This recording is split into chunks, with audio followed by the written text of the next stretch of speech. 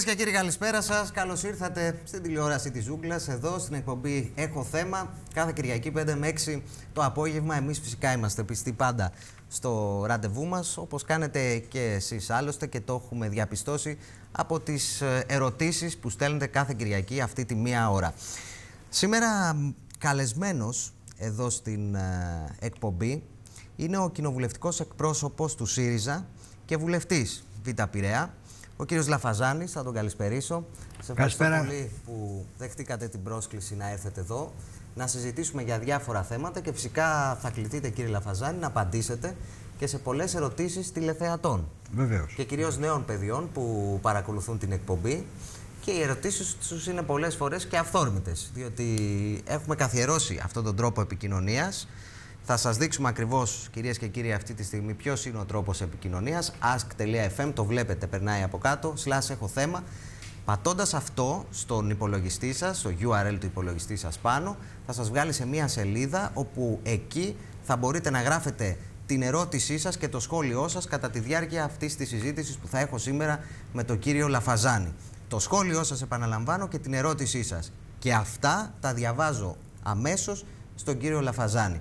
Τώρα υπάρχει και ένας άλλος τρόπος επικοινωνίας μέσω του Facebook. Αν ε, συνδεθείτε φυσικά στο Facebook και διαθέτετε λογαριασμό, όπως παρακολουθείτε την εκπομπή στο κάτω μέρος, στο τελευταίο μέρος της ε, σελίδας, θα δείτε ότι εκεί υπάρχουν τα σχόλια των τηλεθεατών που παρακολουθούν τη τηλεόραση της Ζούγκλας μέσω του Facebook. Άρα λοιπόν συνδέεστε στο Facebook και εκεί σχολιάζετε.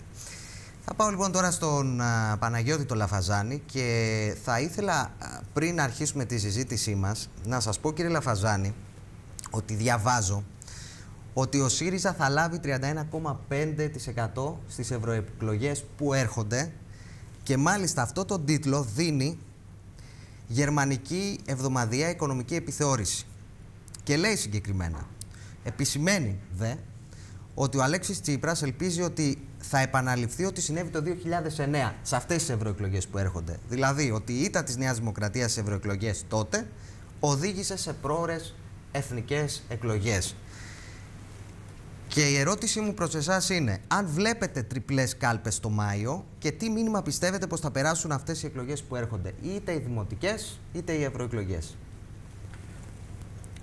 Κύριε Μαζά, να σας ευχαριστώ και εγώ πάρα πολύ για την πρόσκληση που μου απευθύνατε και τη δυνατότητα που μου δίνετε να απευθυνθώ και σε εσάς βεβαίως, αλλά και στο κοινό σας, ε, με τις απόψεις μας, τις απόψεις του ΣΥΡΙΖΑ για τις εξελίξεις. Ε, θα σας πω ότι είναι πάρα πολύ πιθανό ή για να το μετριάσω λίγο δεν είναι καθόλου απίθανο να έχουμε εκλογές εθνικές μαζί με ευρωεκλογές και μαζί με περιφερειακές εκλογές. Και αυτό διότι η κυβέρνηση, το κυβερνητικό μπλοκ τρέμει τις ευρω, ευρωεκλογές, ξέρει ότι οδηγείται σε βέβαιη μεγάλη συντριβή σε αυτές τις ευρωεκλογές και επομένως για να μετριάσει την επίπτωση που θα έχουν σε εξελίξεις ίσως προχωρήσει παράλληλα και σε εθνικές εκλογές. Πάντως μετά τις ευρωεκλογές αυτό που βλέπω είναι ότι σίγουρα θα βαδίσουμε ολοταχώς προς τις εθνικές εκλογές. Διότι η κυβέρνηση, το κυβερνητικό μπλοκ δεν μπορεί να αντέξει με μια πολύ μεγάλη ήττα που θα υποστεί και είναι βέβαιο πλέον αυτό στην ευρωεκλογική μάχη αλλά και στις εκλογές για την τοπική αυτοδιοίκηση, δημοτικές εκλογές και περιφερειακές εκλογές. Μάλιστα. Άρα λοιπόν εσείς λέτε ότι είναι πολύ πιθανό να έχουμε τριπλές κάλπες μετά από τις δημοτικές και εκλογές φυσικά και τις ε, ευρωεκλογές. Απ' την άλλη πλευρά όμως σας θυμίζω ότι ο Πρωθυπουργός έχει πει και έχει τονίσει πολλές φορές ότι, εθνικές ότι ο τόπος δεν χρειάζεται εθνικές εκλογές. Ποιος θα αναλάμβανε την ευθύνη για αυτές τις εθνικές εκλογές; Και από την άλλη πλευρά ότι οι εκλογές θα γίνουν κανονικά στην ώρα τους. Τι απαντάτε σε αυτό; Ε, κοιτάξτε, δεν περιμένω να πει κάτι το διαφορετικό ο κύριος Σαμαράς. Λέει αυτά που οφείλει να πει γιατί αυτά ανταποκρίνονται στο προσωπικό και το κομματικό του συμφέρον. Αλλά πέραν του κομματικού συμφέροντος και του προσωπικού συμφέροντος, του πολιτικού θα έλεγα, πολιτικού προσωπικού συμφέροντος του κυρίου Σαμαρά υπάρχει και το εθνικό συμφέρον, υπάρχει και το δημόσιο συμφέρον. Και ο τόπος δεν μπορεί να αντέξει άλλο αυτή την κυβέρνηση με τις μνημονιακές πολιτικές λαιλασίας και κατεδάφισης.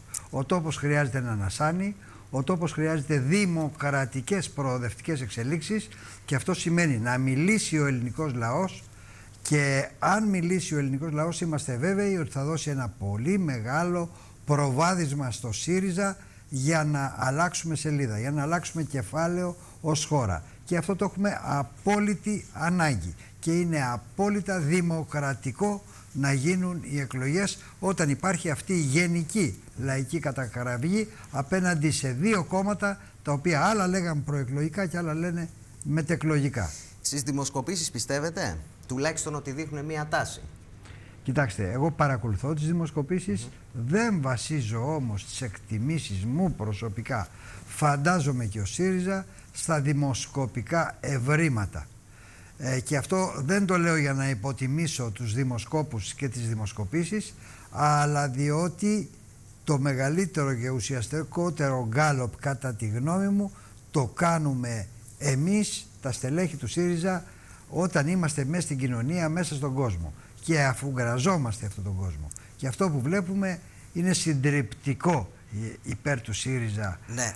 το λαϊκό ρεύμα. Να σας πω όμως κάτι, ναι. οι δημοσκοπήσεις δεν δείχνουν καθαρά αυτή τη στιγμή αυτοδυναμία.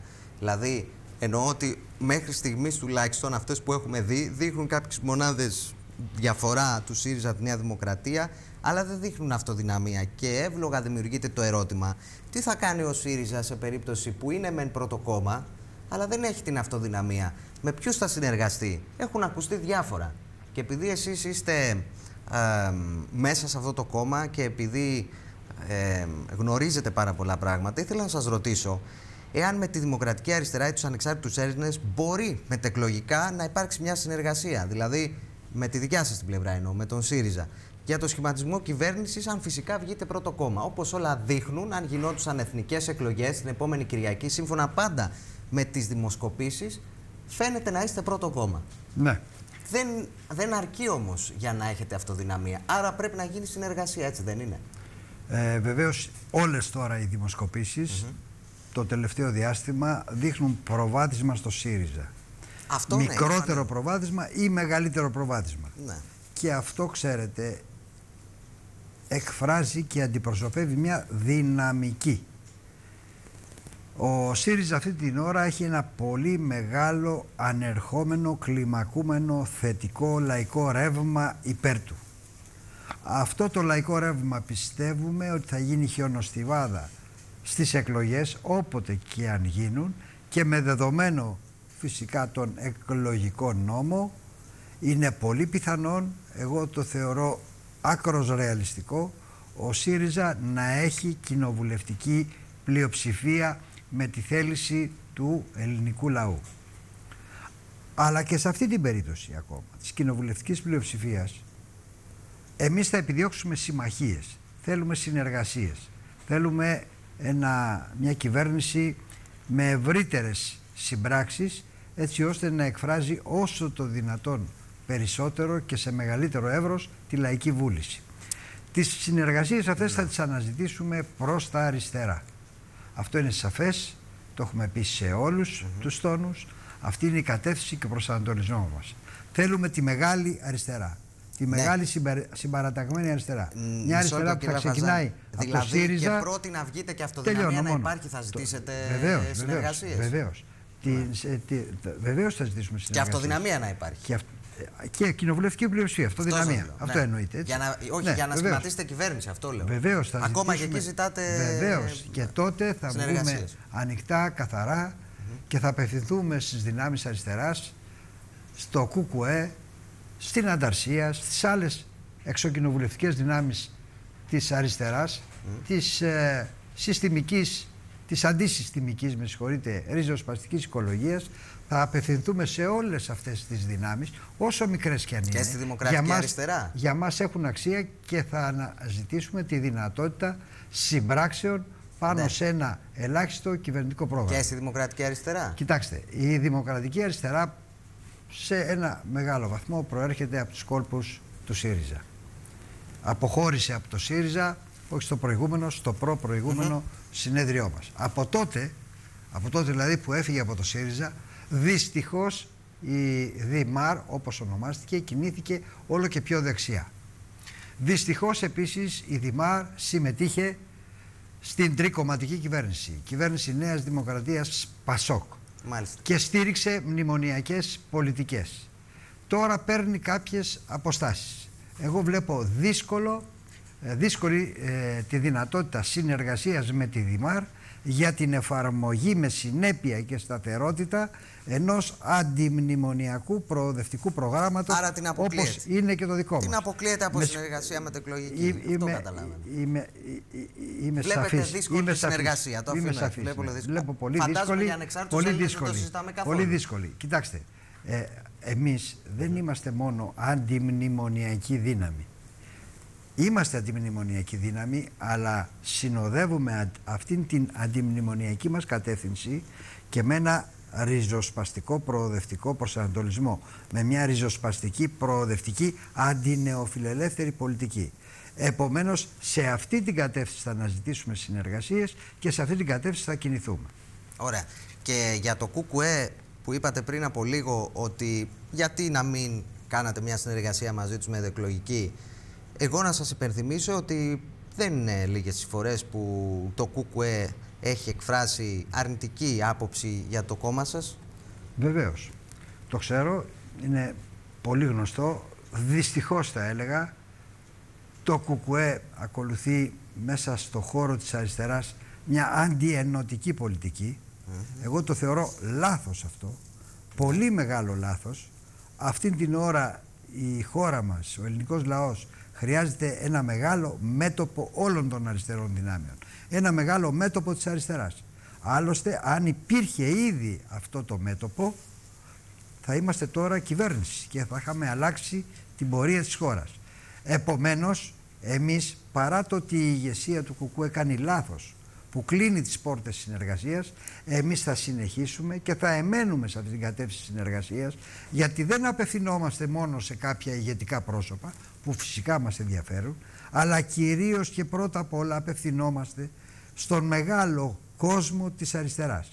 Και Είναι αυτός ο αυτή- κόσμος είναι της αυτή η αριστεράς κυβέρνηση της θέλει αριστεράς. την ενότητα. Αυτή θέλει η την κυβέρνηση. ενότητα, θέλει την συνεργασία, θέλει την κοινή δράση, διότι καταλαβαίνει ότι έτσι μπορούμε να ανατρέψουμε τα σημερινά κατεστημένα και να ανοίξουμε καινούριους θετικούς, προοδευτικούς και σοσιαλιστικούς δρόμους. Επειδή έχω διαβάσει Ναι. πολλές δηλώσεις σας, κ- ξέρω και γνωρίζω ότι είστε υποστηρικτής μιας κυβέρνησης της μεγάλης, θα το βάλω σε εισαγωγικά, αριστεράς. Αριστεράς, βεβαίως, πάρα Αυτό πολύ βέβαια είναι ένα θέμα, διότι τουλάχιστον από ό,τι δείχνει αυτή τη στιγμή είναι πολύ δύσκολο να συμβεί με όλα αυτά που συμβαίνουν.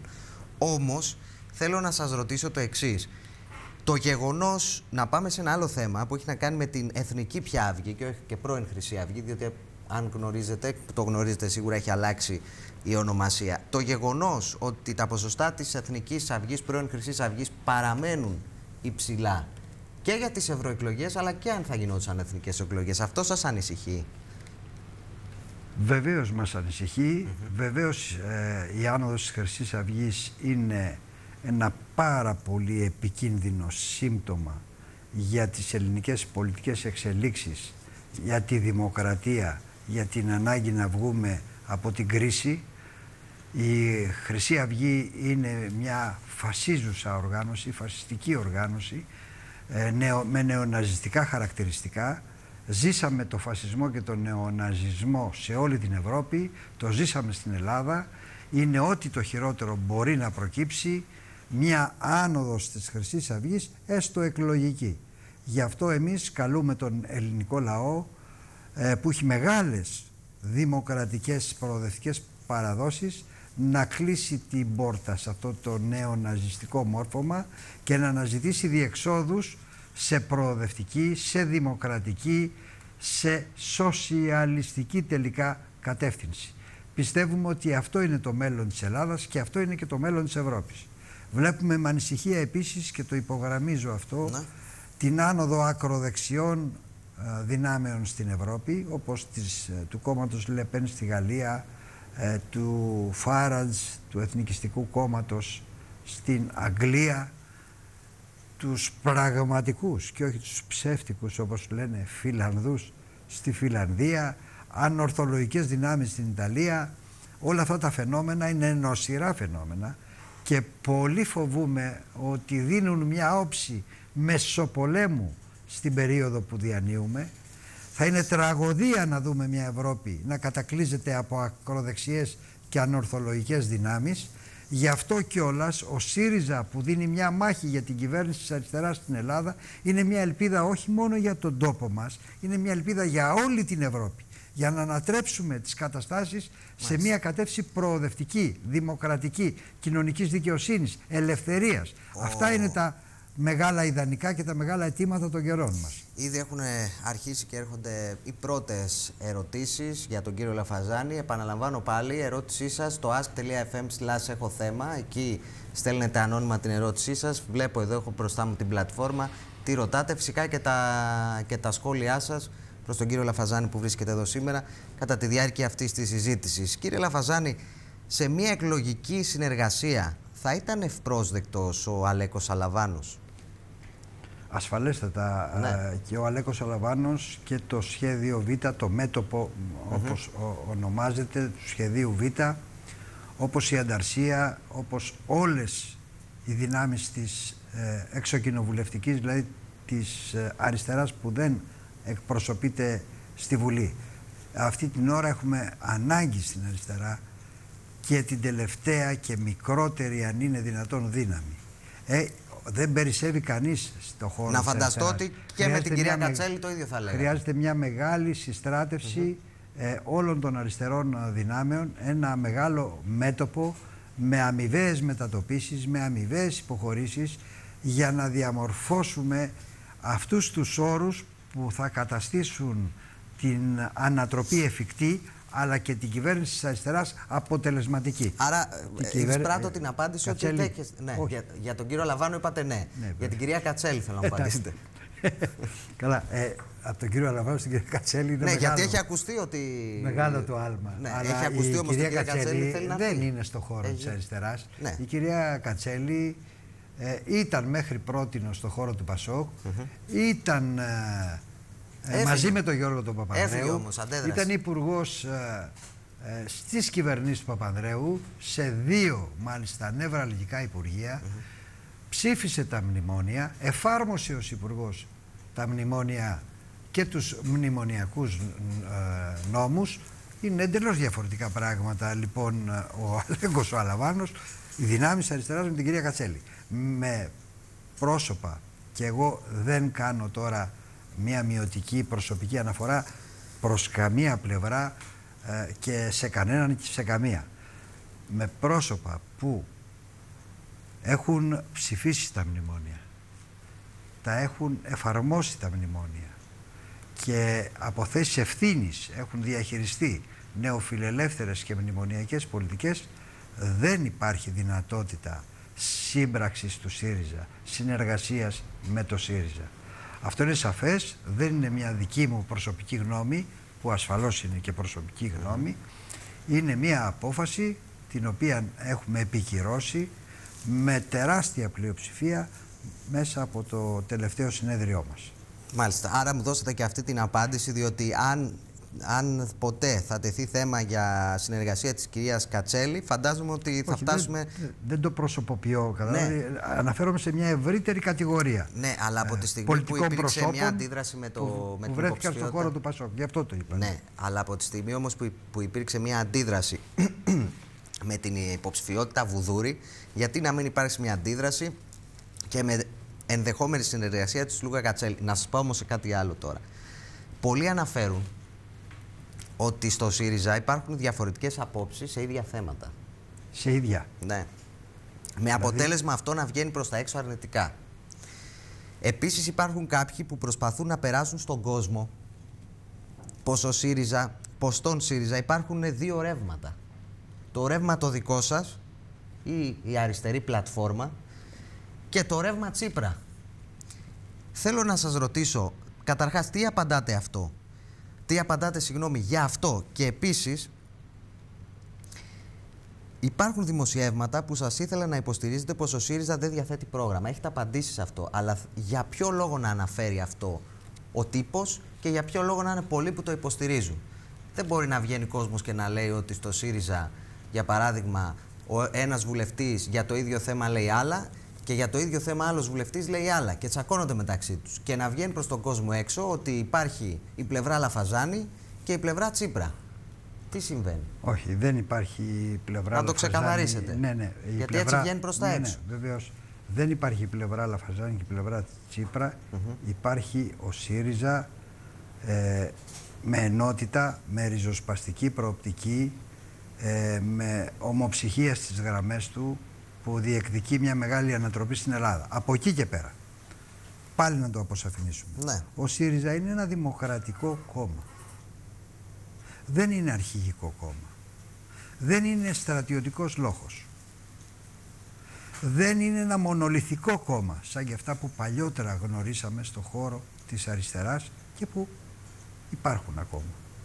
Εμείς είμαστε και θέλουμε να παραμείνουμε όχι μόνο τώρα που είμαστε αξιωματική αντιπολίτευση αλλά και στο μέλλον που θα είμαστε κυβέρνηση ένα μεγάλο δημοκρατικό κόμμα. Ένας μεγάλος δημοκρατικός συλλογικός σχηματισμός. Αυτό τι σημαίνει; Ότι μέσα στους κόλπους του κόμματός μας λειτουργούν διαφορετικές τάσεις και διαφορετικά ρεύματα ιδεών και πολιτικών απόψεων. Αυτό για μας δεν είναι μειονέκτημα. Δεν το θεωρούμε αδυναμία. Άλλωστε και αυτοί που λένε ότι είναι μονολυθικοί, που είναι συγκεντρωτικοί, που έχουν αρχικά κόμματα, υπάρχει πλήθος διαφορετικών απόψεων στις γραμμές τους, μόνο που το κρύβουν, δεν το αναγνωρίζουν, δεν το θεσμοποιούν, με αποτέλεσμα αυτό να κάνουν, με αυτό το πράγμα να κάνουν κακό και στα κόμματά τους, αλλά κυρίως στον τόπο. Εμείς έχουμε ανοιχτή δημοκρατική διαδικασία μέσα στο κόμμα. Επομένως, στα διάφορα θέματα που προκύπτουν, είτε και που είναι μόνιμα, μπορεί να υπάρχουν και να εκφράζονται στο εσωτερικό του κόμματός μας και διαφορετικές απόψεις. Αυτό δεν είναι κακό. Η δημοκρατία σε ένα κόμμα μπορεί να διορθώνει τα λάθη που μπορεί να κάνει, γιατί όλοι κάνουμε λάθη, ή η δημοκρατία να βοηθάει ώστε να αποφεύγονται κάποια λάθη. Άρα η δημοκρατία για μας και αυτό που λέτε πλευρές δεν ισχύει, η δημοκρατία ισχύει και η δημοκρατία αυτή είναι αναζωογονητική δύναμη για τον ΣΥΡΙΖΑ και πιστεύουμε εγγύηση για την περαιτέρω πορεία μας και εγγύηση για τον ελληνικό λαό να μας εμπιστευτεί. Δεν τρογόμαστε Ναι. στο ΣΥΡΙΖΑ, συζητάμε και μπορεί και να διαφωνούμε σε ορισμένα θέματα. Ναι, αλλά δεν Αυτό μπορεί δεν είναι η φαγωμάρα. διαφωνία όμως που Αυτό έχετε που λέ- εσείς, Ναι. για παράδειγμα. Ναι. Γιατί το έχω δει πολλές φορές. Βλέπουμε τα δελτία κάθε μέρα. Η διαφωνία που έχετε εσείς με κάποιον άλλον μέσα από το ΣΥΡΙΖΑ να γίνεται πρώτο θέμα σε ένα δελτίο; Κακώς το Άρα κάνει τι το είναι, να δελτίο. φανταστώ ότι είναι προπαγάνδα προς τον Όχι, ΣΥΡΙΖΑ; όχι. Δε- Κακώς κάνουν τα δελτία Ναι. και με αυτόν τον τρόπο μάλιστα πρώτο θέμα μία διαφωνία. Ε, αυτός Η διαφωνία συμβαίνει δεν όμως. είναι κακό.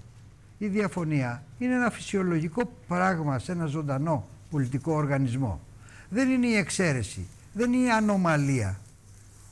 Είναι αποτέλεσμα μιας συζήτησης που γίνεται. Μάλιστα. Όπου μπορεί να καταδίδει διαφορετικές απόψεις. Ναι. Στο τέλος η πλειοψηφία παίρνει μετά από δημοκρατική συζήτηση τις αποφάσεις και ε, ακολουθούμε όλοι αυτές τις αποφάσεις. Σεβόμαστε όλοι αυτές τις αποφάσεις και πορευόμαστε με αυτές τις αποφάσεις. Αυτός είναι ο τρόπος που λειτουργούμε.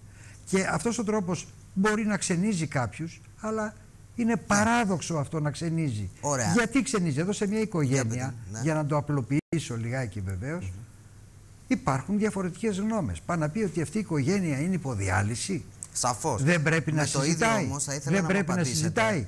Τι πρέπει να γίνεται; Κάποιος να κρατάει το ραβδί και να ραβδίζει Ναι. τους άλλους προκειμένου όλοι να έχουν την ίδια άποψη και να ομοφωνούν Ωραία. και έτσι θα κρατηθεί τίποτα στη ζωή. Σωστά. Δεν Με το γίνονται ίδιο αυτά τα όμως θα πράγματα. ήθελα να μου απαντήσετε. Από εκεί Για πέρα ποιο λόγο- βεβαίως να πω και Ναι, να ναι, κάνω και μια διαφήμιση. ολοκληρώστε, Εγώ ναι. ποτέ δεν είπα λίμωνο ο, ότι δεν έχει πρόγραμμα ο, ο, ο ΣΥΡΙΖΑ. Είπα μάλιστα σε Γράφτηκε μια, και αυτό. σε μια, Γράφτηκε, αλλά γράφονται Μα σας πολλά μιλάμε πράγματα. αποδείξεις. αλλά- Γράφτηκε. όχι, γράφτηκε. Δεν, δεν, δεν αφισβητώ ότι Ότι γράφτηκε. είπατε ότι ο ΣΥΡΙΖΑ δεν έχει πρόγραμμα Όχι, και αυτό βγάλατε είναι- μια ανακοίνωση. Ναι, Εσείς αυτό ότι είναι δεν το λάθος. είπατε ποτέ. Ως- μάλιστα είχα πει και την έκφραση στην τηλεόραση που το πήραν πολλοί. Ε, άλλος ε, το διακομωδούσε, άλλος το ηρωνευόταν, άλλος το έβλεπε ε, θετικά. Εν πάση περιπτώσει που είχα πει ε, έχουμε προγραμματάρα.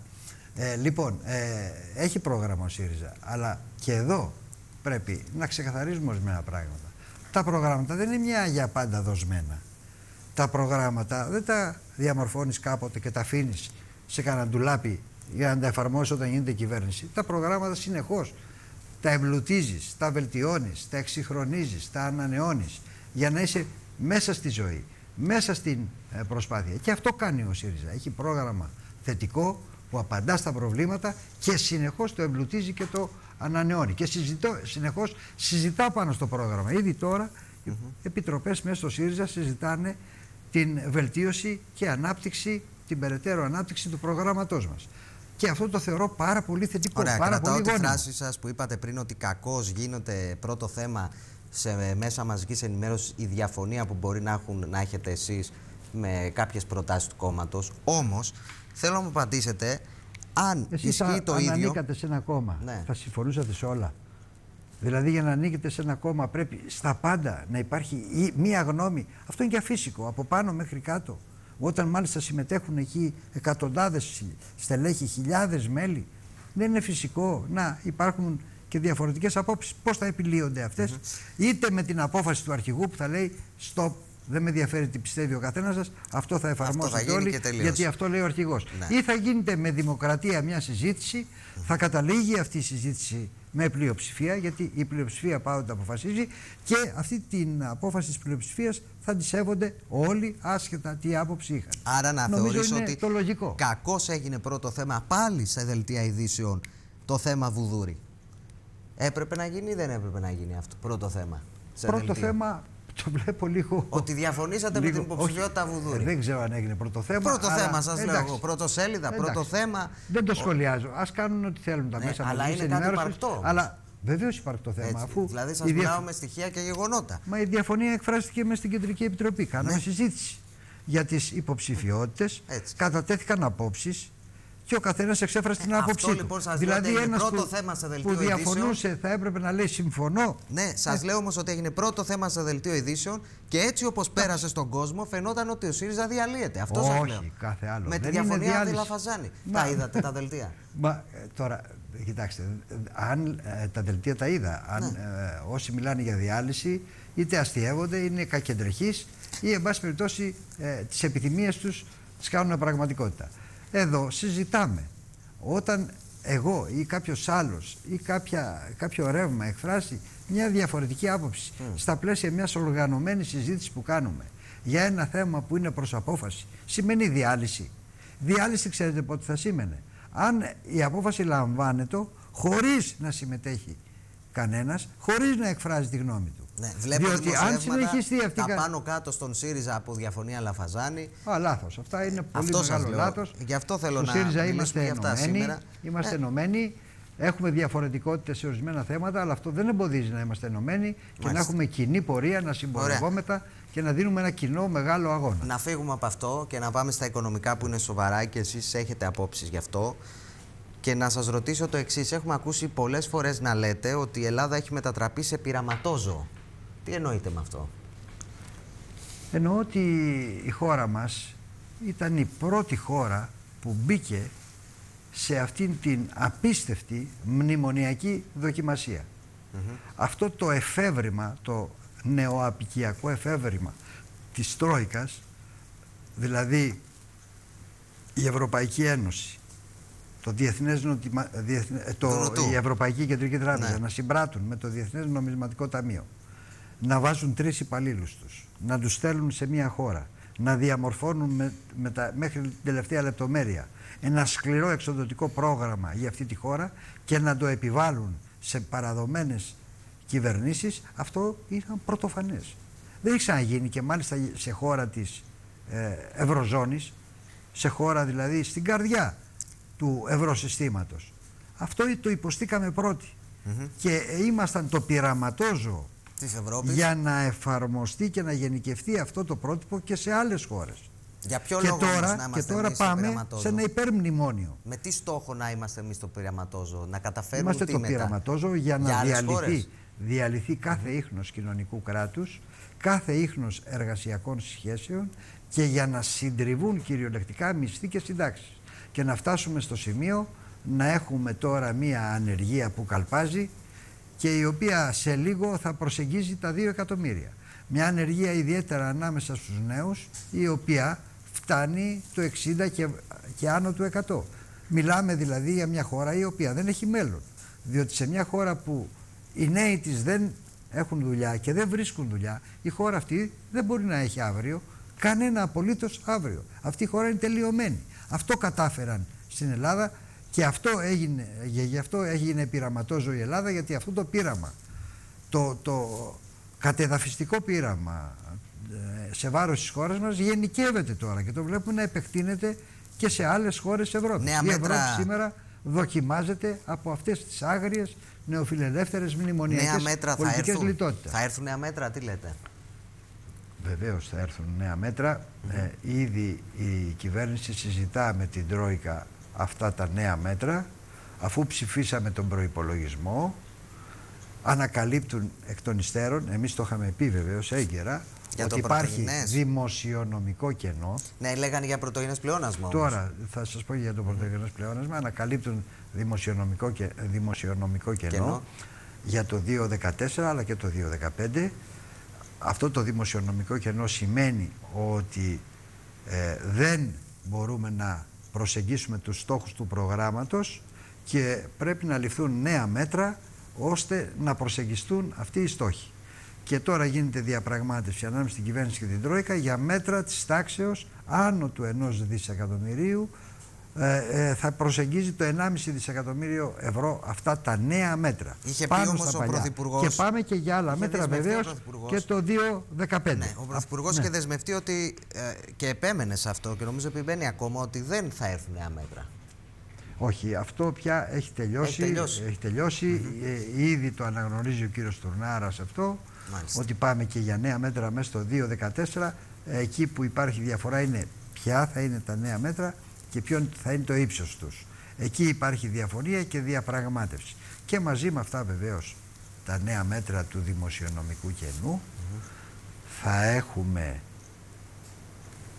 και νέα χρηματοδότηση γιατί υπάρχει και το λεγόμενο χρηματοδοτικό κενό το χρηματοδοτικό κενό δεν επιβάλλει νέα μέτρα ε, στο, στη χώρα και στο λαό μας είναι ένα κενό για να αποπληρώσουμε δάνεια τα οποία λήγουν και δεν έχουμε τα απαραίτητα χρήματα διότι η τροϊκανή χρηματοδότηση δεν επαρκεί. Άρα χρεια- χρειαζόμαστε και νέα χρηματοδότηση για να εξοφλήσουμε τους πιστωτές, τα ομόλογα που λήγουν, κυρίως των Ευρωπαϊκών Κεντρικών Τραπεζών.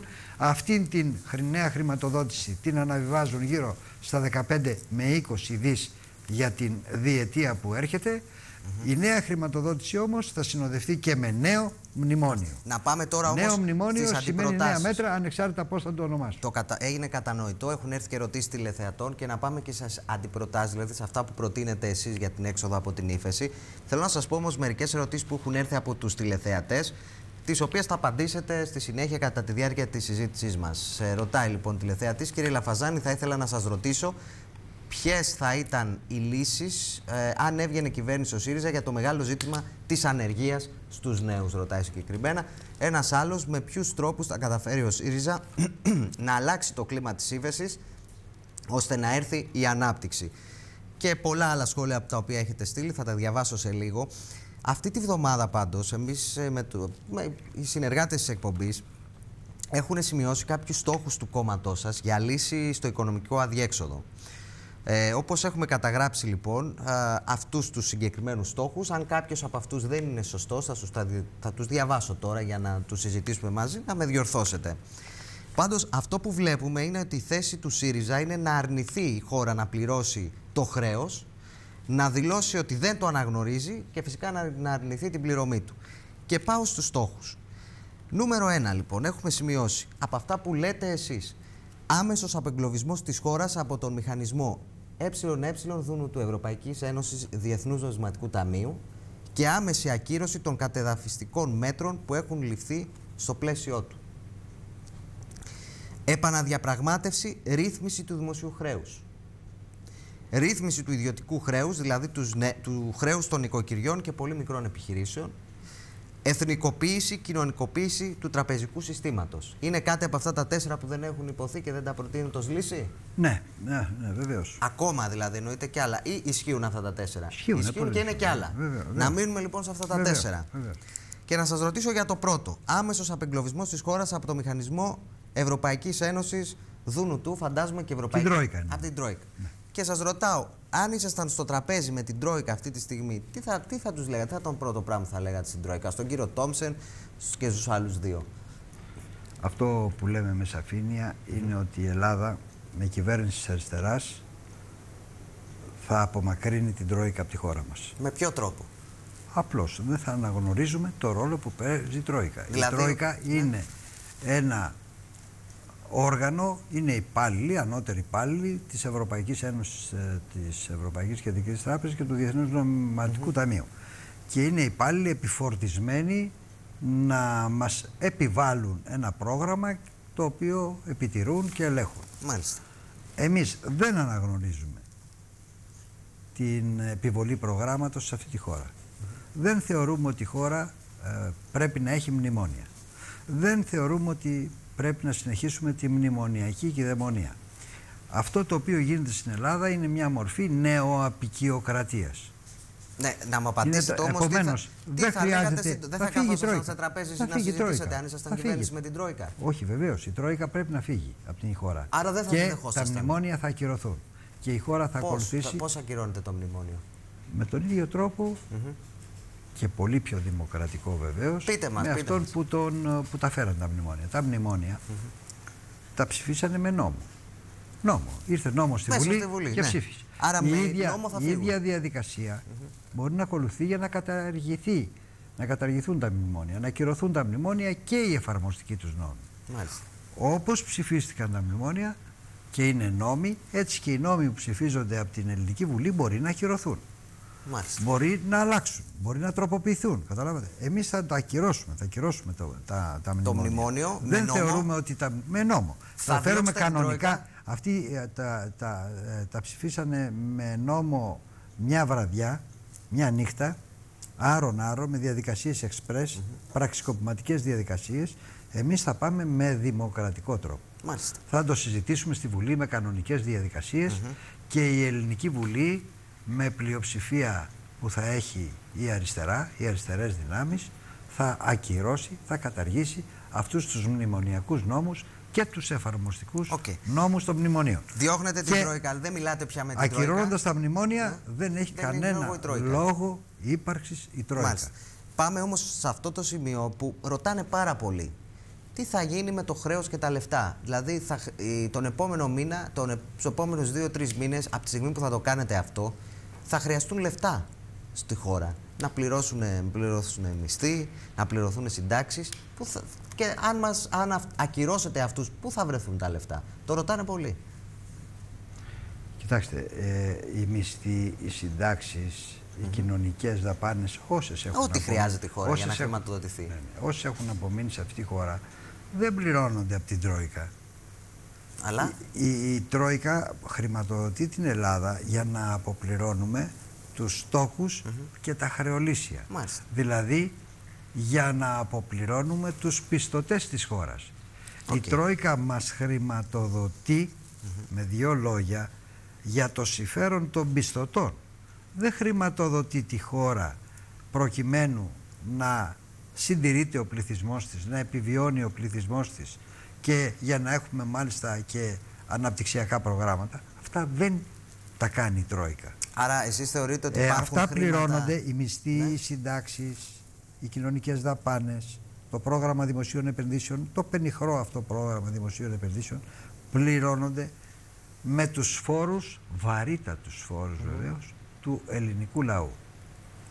Άρα η ενδεχόμενη διακοπή χρηματοδότησης από την Τρόικα δεν σημαίνει ότι δεν θα έχει το ελληνικό δημόσιο να πληρώσει μισθούς και συντάξεις. Θα έχει, λέτε. Ναι, βεβαίως θα έχει Θα από τους έχει. φόρους.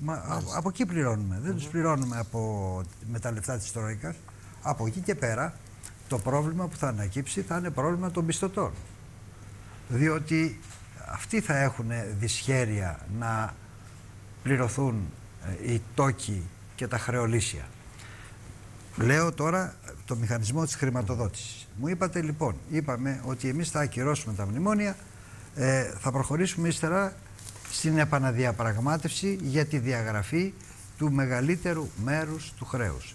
Και αυτό είναι ε, δέσμευσή μας, ε, απόφασή μας. Γιατί θέλουμε να διαγραφεί το χρέος, όχι μόνο γιατί είναι άδικο και ταξικό, βαθύτατα ταξικό αυτό το χρέος, αλλά γιατί είναι και ένα χρέος μη βιώσιμο. Δεν είναι βιώσιμο. Δεν μπορεί να αποπληρωθεί χωρίς να εξοντωθεί ο ελληνικός λαός. Εδώ που έχουμε φτάσει λοιπόν πρέπει να πάμε σε αυτή τη διαγραφή και να επιμείνουμε σε αυτή τη διαγραφή του μεγαλύτερου μέρους του, του χρέους για να ανακουφιστεί η χώρα.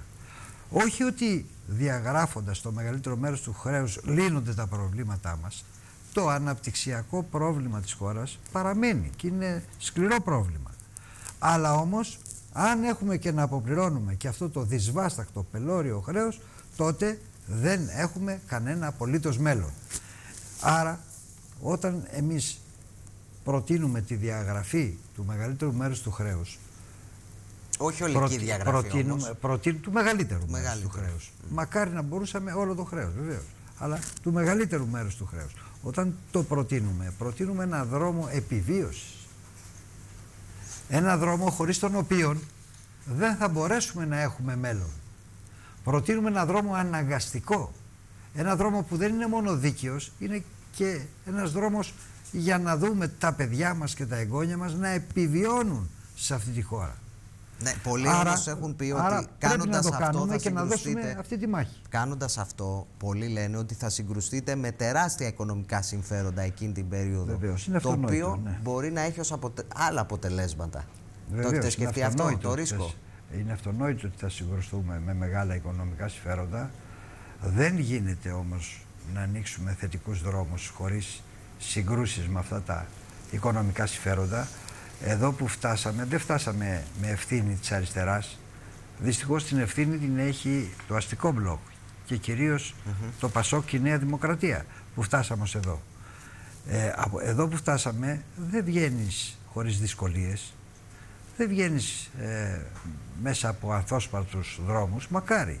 Δεν υπάρχουν ιδηλιακοί δρόμοι για να ξεφύγουμε από αυτή την κρίση και να βγούμε στο ξέφωτο και να αρχίσουμε να πορευόμαστε ε, με κάποια ελπίδα για το αύριο ε, αυτό θα γίνει με συγκρούσεις με καταστημένα συμφέροντα και χώρια συμφέροντα και ευρωπαϊκά και ευρωατλαντικά συμφέροντα. Plan Αλλά δεν υπάρχει άλλη λένε. δυνατότητα. Plan B. Άλλη δυνατότητα. Υπάρχει στο πίσω μέρος του μυαλού σας, όχι του δικού σας μόνο, ενώ του κόμματός σας, όσον αφορά ε, το σχέδιο επιστροφής στο εθνικό μας νόμισμα ή ας μην λέγεται δραχμή, ας λέγεται κάπως αλλιώς. Το έχετε σκεφτεί αυτό ή το έχετε απορρίψει τελείως; Ε, κοιτάξτε, όλα τα πράγματα είναι υποσκέψη. Η επιλογή του ΣΥΡΙΖΑ, και δεν σας λέω αυτή τη στιγμή την προσωπική μου άποψη, η επιλογή του ΣΥΡΙΖΑ είναι η παραμονή της Ελλάδας στο ευρώ. Ο ΣΥΡΙΖΑ δεν έχει επιλογή να βγούμε από την Ευρωζώνη. Και, από την Ευρωζώνη. Ναι, το ευρώ. Ναι. Ευρωζώνη. Ευρωζώνη, ευρώ είναι Ακριβώς το, ναι, εντάξει, η ζώνη που έχει το νόμισμα, το ίδιο νόμισμα. Είτε βγεις από το ευρώ είτε από την Ευρωζώνη. Είναι Μπορείς το να είσαι στην Ευρωπαϊκή Ένωση όμως με άλλο νόμισμα. Καλά, βεβαίως. Άλλο Ευρωζώνη. Βεβαίως. Ε, αυτό αν θα μπορούσε. Όπως είναι η Αγγλία, ας πούμε. Ναι, πολλές χώρες. Πολλές χώρες. Η Αγγλία, η Δανία, η Σουηδία είναι χώρες που μετέχουν στην Ευρωπαϊκή Ένωση αλλά δεν βρίσκονται στη ζώνη του ευρώ. Του ευρώ. Δεν είναι στην Ευρωζώνη. Η Τσεχία, η Πολωνία είναι εκτός. Άρα εσείς λέτε μέσα στην Ευρωζώνη. Δεν το ε, έχετε ναι, σκεφτεί η ποτέ επιλογή, του ΣΥΡΙΖΑ, η επιλογή του ΣΥΡΙΖΑ είναι ε, ε, να μην βγούμε από την Ευρωζώνη. Δεν, δεν έχουμε επιλογή εκτός ευρώ ε, και αναφέρομαι στην επιλογή που έχει κάνει με πλειοψηφία ο, ο ΣΥΡΙΖΑ. από εκεί και πέρα βεβαίως αυτό δεν σημαίνει ότι εμείς θα αποδεχθούμε οποιοδήποτε εκβιασμό, οποιαδήποτε απειλή ή οποιοδήποτε δίλημα εμείς ε, είμαστε αποφασισμένοι σε κάθε περίπτωση να εφαρμόσουμε το αντιμνημονιακό προοδευτικό μας πρόγραμμα. Ε, γιατί η εφαρμογή αυτού του προγράμματος συνδέεται με την ελπίδα σε αυτή τη χώρα. Δεν πρόκειται να κάνουμε πίσω. Η Ελλάδα δεν πρόκειται να γίνει δεύτερη Κύπρος του κυρίου Αναστασιάδη. Με κυβέρνηση αριστεράς πάντοτε εννοώ. Και τώρα που είπατε γι' αυτό, μου ήρθε μια ερώτηση πριν πάω στα σχόλια και τις ερωτήσεις των τηλεθεατών. Πολλοί τώρα τελευταία αναφέρουν ότι ενδεχομένως, το βάζω σε εισαγωγικά, δεν είναι απίθανο να υπάρξει κάποια στιγμή και κούρεμα των καταθέσεων στη χώρα μας. Τι λέτε κύριε Λαφαζάνη; Δεν θα ήθελα να μπω σε αυτή τη συζήτηση Καθόλου. ε, γιατί καταλαβαίνετε ότι έχει ένα, μια λεπτή χρειά ε, και μπορεί να δημιουργήσει ε, Εντάξει. παρενέργειες. Εγώ επειδή το Αυτό- διαβάζω σε Αυτό που μπορώ δημοσιεύματα- να σας διαβεβαιώσω Ναι. 100% είναι ότι δεν υπάρχει καμία περίπτωση να υπάρξει κούρεμα καταθέσεων με κυβέρνηση της αριστεράς. Μάλιστα. Αυτό ο, μπορώ να το αποκλείσω 100% δεν είναι μέσα στη δική μας σκέψη, δεν είναι μέσα στον προσανατολισμό μας. Εμείς ε, θέλουμε τις ε, καταθέσεις να τις στηρίξουμε με, όλες, με όλα τα δυνατά μέσα που διαθέτουμε. Πάω στις ερωτήσεις των τηλεθεατών. Απαντήστε πρώτα σε αυτή που σας είχα πει και πριν. Ρωτάει κάποιος, κύριε Λαφαζάνη, θα ήθελα να σας ρωτήσω ποιες θα ήταν οι λύσεις αν έβγαινε η κυβέρνηση ο ΣΥΡΙΖΑ για το ζήτημα της ανεργίας στους νέους. Τι προτείνετε εσείς, λοιπόν για την ανεργία των νέων; Και από ό,τι ξέρω, έχετε και δύο κόρες. Η μία σας κόρη είναι στο σχολείο, Τρεις, η άλλη τρεις, στο πανεπιστήμιο. τρεις κόρες. Τρεις κόρες, ναι, με συγχωρείτε. Η μία στο σχολείο, η άλλη στο πανεπιστήμιο. Οπότε θα φαντάζομαι ότι θα σας λένε και διάφορα από τον χώρο της παιδείας και την ανεργία που υπάρχει. Μα, ε, σας είπα και προηγουμένως, ε, η Ελλάδα ζει έναν εφιάλτη και ο εφιάλτης λέγεται ανεργία των νέων. Σήμερα οι νέοι άνθρωποι δεν βρίσκουν δουλειά και όσοι βρίσκουν δουλειά δουλεύουν σε συνθήκες άγριας εκμετάλλευσης που μας παραπέμπει σε προηγούμενους αιώνες. Πολλοί είναι απλήρωτοι. Άλλοι δουλεύουν ώρες περισσότερες από το κανονικό. Άλλοι δουλεύουν ε, με, ε, χωρίς ασφάλιση. Άλλοι ε, δουλεύουν ε, τη μία μέρα και κάθονται τρεις που λέει ο λόγος για να μπορέσουν να επιβιώσουν και συνεχίζουν με ένα τέτοιο τρόπο ο, ο, ο οποίος καθόλου δεν θυμίζει φυσιολογική ανθρώπινη ζωή. Λοιπόν, αυτή είναι η κατάσταση με την νεολαία μας, είναι εφιαλτική πραγματικά. Για να μπορέσουμε να αντιμετωπίσουμε αυτό το πρόβλημα, τεράστιο πρόβλημα της ανεργίας των νέων, η χώρα το πρώτο πράγμα που πρέπει να κάνει είναι να ανακόψει την ύφεση και να αρχίσει να μπαίνει σε διαδικασίες και σε τροχιά παραγωγικής ανάπτυξης. Διότι αυτό που θα εξασφαλίσει θέσεις εργασίας, θέσεις απασχόλησης, μάλλον εργασίας για να το πούμε καλύτερα, γιατί η απασχόληση δεν είναι η καλύτερη δυνατή λέξη για να εκφράσει αυτό που θέλουμε να πούμε. Ε, θέλουμε ε, επενδύσεις, θέλουμε παραγωγική ανάπτυξη, θέλουμε παραγωγική ανασυγκρότηση της χώρας. Πώς θα γίνει αυτό; Το πρώτο πράγμα που πρέπει να γίνει για να σταματήσουμε τους, την, αυτήν την απίστευτη ύφεση, τη μεγαλύτερη ύφεση που περνάει η χώρα σε ειρηνική περίοδο και πιο μακρόχρονη, είναι το πρώτο ο, και κύριο είναι να σταματήσουμε τη λιτότητα. Δεν είναι δυνατόν να ε, τσεκουρώνουμε κυριολεκτικά μισθούς, συντάξεις, κοινωνικές δαπάνες και να θέλουμε να σταματήσει η ύφεση. Διότι όσο μεγαλύτερη λιτότητα εφαρμόζουμε στη χώρα, τόσο λιγότερα είναι τα φορολογικά έσοδα, τόσο πιο μειωμένες είναι οι ασφαλιστικές εισφορές, τόσο πιο μεγάλα τα ελλείμματα δηλαδή στον προϋπολογισμό, τόσο λιγότεροι, λιγότερες οι δυνατότητές μας να ανταποκριθούμε σε στοιχειώδες, στις στοιχειώδεις ανάγκες και επομένως τόσο μεγαλύτερη η ύφεση στην Άρα, να δια... οικονομία. λέτε να διακόψετε την ύφεση. Αυτό είναι μία πρόταση. Για να Λοιπόν, αντιμετωπιστεί η ανακο... ανεργία των όχι, νέων. το πρώτο πράγμα Να- είναι η λι- να στο το να στοχεύσουμε ανακόψουμε λίγο την στις ύφεση. απαντήσεις, γιατί είναι πολλές ερωτήσεις Ωραία. και θέλω να τα- Πα- ε, λιτότητα λοιπόν είναι το πρώτο πράγμα που πρέπει να σταματήσει και το δεύτερο είναι να μπει η χώρα, ε, για να μπει η χώρα σε τροχιά ανάπτυξης είναι να υπάρξει ένα πολύ μεγάλο πρόγραμμα δημοσίων επενδύσεων και ρευστότητα πρώτα και κύρια με ικανοποιητικούς όρους προς τις μικρές και πολύ μικρές επιχειρήσεις. Και τα δύο αυτά θέλουν διεκδικήσεις στον ευρωπαϊκό χώρο για άλλον προσανατολισμό. Μάλιστα. Και τα δύο αυτά απαιτούν μια μεγάλη ταυτόχρονα φορολογική μεταρρύθμιση για την αναζήτηση πόρων.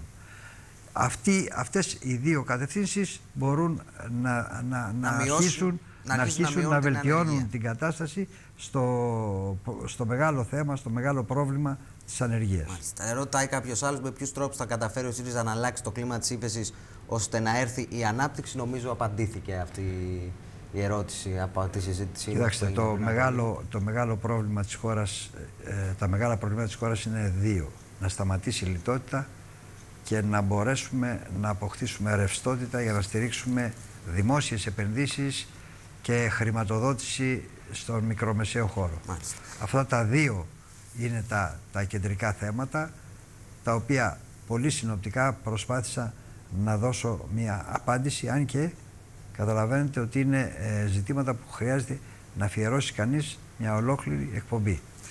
Να πάμε σε μια άλλη ερώτηση. Κύριε Λαφαζάνη, ο ΕΟΠΗ αντιμετωπίζει χιλιάδες προβλήματα και τα ΑΜΕΑ συνεχώς βρίσκουν απέναντί τους ένα εχθρικό κράτος εδώ και τόσα χρόνια. Μπορούν να ελπίζουν τα ΑΜΕΑ σε ένα καλύτερο αύριο, μας ρωτάει κάποιος τηλεθεατής.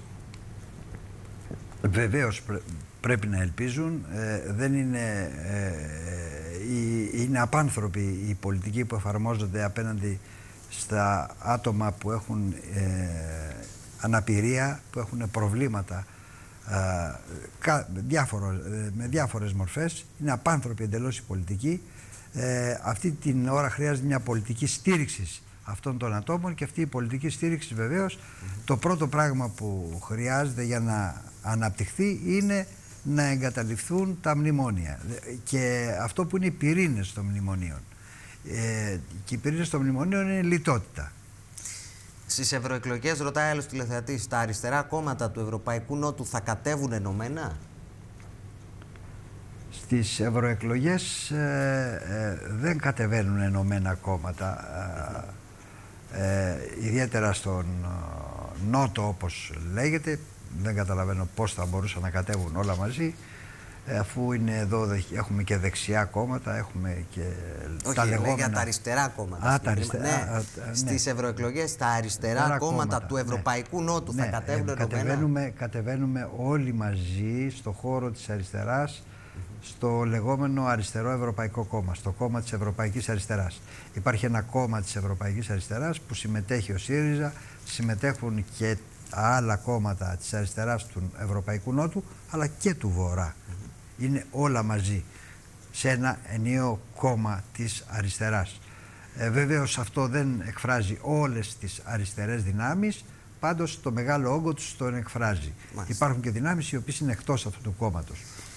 Γιατί έτσι κατεβαίνουν σε ευρωεκλογές. Σε ευρωεκλογές κατεβαίνουν ευρωπαϊκού τύπου κόμματα. Το κόμμα της Ευρωπαϊκής Αριστεράς θα είναι, θα είναι το Σοσιαλδημοκρατικό Κόμμα, θα είναι το Λαϊκό Δεξιό Κόμμα κτλ. κτλ. Ωραία, να πάμε λίγο τώρα στα εθνικά μας θέματα και να σας ρωτήσω τι, τι σας ανησυχεί περισσότερο στα εθνικά μας θέματα αυτή την περίοδο.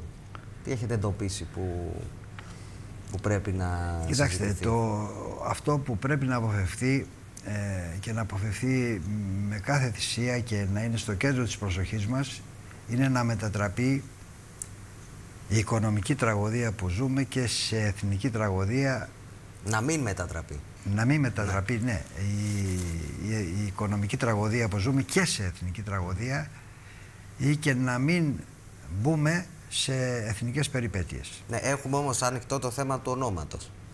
Ε, βεβαίως υπάρχει αυτό το θέμα ανοιχτό. Τι λέτε εκεί; Εκεί αναζητούμε μια σύνθετη ονομασία.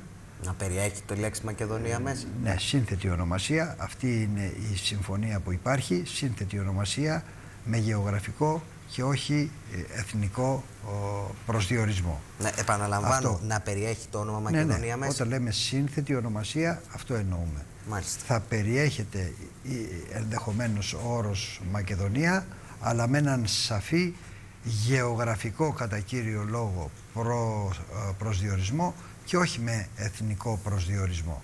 Με τις, Αυτή είναι ε, η συμφωνία που έχει επέλθει και η αναζήτηση μιας αμοιβαία κοινής λύσης. Εσείς συμφωνείτε σε αυτό; Ναι, ναι, βεβαίως. Είναι μια συμβιβαστική ε, θέση, μια συμβιβαστική πρόταση η οποία μπορεί να δώσει μια διέξοδο και ε, να απεμπλακούμε από ένα πρόβλημα το οποίο είναι ε, πάρα πολύ, έχει μεγάλο κόστος. Ξέρω επίσης ότι και Από το... εκεί και πέρα, Ναι. ε, το μέγα πρόβλημα εδώ της περίοδου που διανύουμε είναι επίσης να αποφύγουμε ε, ένα νέο σχέδιο ανάν για την Κύπρο. Διότι βλέπουμε ότι υπάρχει μια κοινή διακήρυξη τώρα υπογεγραμμένη από Ελληνοκυπρίους και Τουρκοκυπρίους πάνω στην οποία θα γίνει διαπραγμάτευση. Και αυτή η κοινή διακήρυξη έχει μεγάλα ελλείμματα και μεγάλα προβλήματα.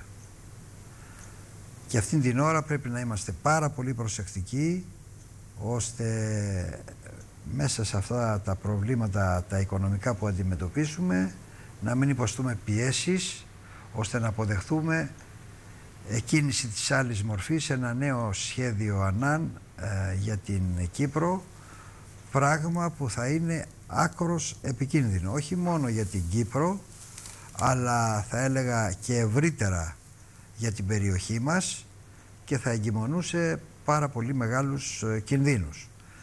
Επομένως πρέπει εδώ να υπάρξει προσοχή, διαφάνεια, δημοσιότητα, καλή ενημέρωση και ώστε να μπορέσει να, να, έχει, να κάνει αισθητή την παρουσία του ο ελληνικός λαός με την άποψή του, με τη γνώμη του και πολιτικές του δυνάμεις πριν φτάσουμε σε κάποια τετελεσμένα που θα επιχειρηθούν να επιβληθούν. Ξέρω επίσης ότι σας έχει απασχολήσει πολύ ως κόμμα το μεταναστευτικό.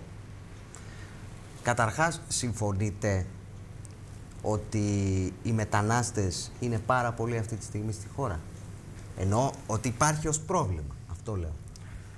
Ε, βεβαίως υπάρχει ως πρόβλημα. Ε, η Ελλάδα από την γεωγραφική της θέση βρίσκεται σε ένα σημείο όπου τέμνονται τρεις ήπειροι επομένως ε, δέχεται ένα συνεχές κύμα μεταναστευτικής ροής το οποίο δεν θέλει να έρθει και να εγκατασταθεί αποκλειστικά στην Ελλάδα. Άρα να πάει στη Γερμανία ή στη Γαλλία. Κατευθύνεται προς την Ευρώπη. Ακριβώς, Η μένει Ελλάδα, όμως εδώ, ε, ναι, μένει όμως γίνεται εδώ. δέχτης ε, αυτού του μεταναστευτικού κύματος και δυστυχώς υπάρχει μια απαράδεκτη συμφωνία του Δουβλίνου όπου Ω ΣΥΡΙΖΑ δε- θα την δε- καταγγείλετε δεν μπορεί- της- το ε, Δουβλίνο 2, το ε, καταγγέλλετε. βεβαίως, θα ζητήσουμε αλλαγή του Δουβλίνου 2.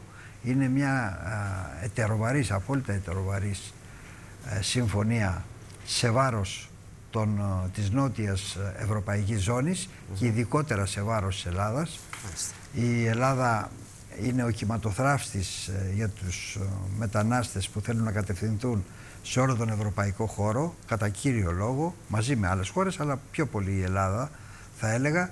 Η, η Ελλάδα λοιπόν ε, δεν μπορεί να αντιμετωπίσει αυτό το θέμα μόνη της. Χρειάζεται μια νέα ευρωπαϊκή πολιτική η οποία να απαντήσει θετικά σε αυτά τα προβλήματα και να ανακουφίσει τη χώρα μας.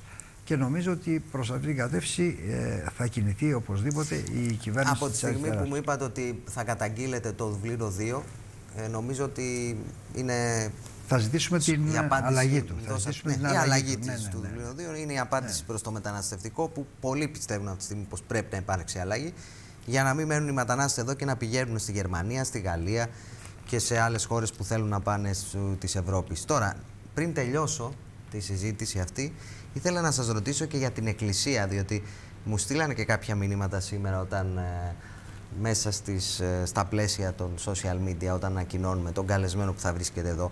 Η Εκκλησία, κύριε Λαφαζάνη, πιστεύετε ότι παίζει σωστά το ρόλο της όλα αυτά τα χρόνια της κρίσης ή θα έπρεπε να πάρει περισσότερες πρωτοβουλίες; Ε, κοιτάξτε, οι πρωτοβουλίες που θα μπορούσαν και θα έπρεπε να αναλυφθούν ε, πρέπει να αξιολογηθούν από την ίδια την Εκκλησία διότι είναι ένας θεσμός ο οποίος μέσα στην κρίση θα έπρεπε να κάνει τα μέγιστα προκειμένου να υποβοηθήσει το χυμαζόμενο ελληνικό λαό. Έχει κάνει τα μέγιστα, Ε, πιστεύετε, ή α- έχει πολλά να αυτή δώσει; την ακόμα ή ώρα, δεν έχει αυτή κάνει την ώρα, τίποτα. Αυτή την ώρα δεν ε, μπορώ εγώ να εκτιμήσω ακριβώς αυτό το κοινωνικό ο, λεγόμενο έργο της Εκκλησίας.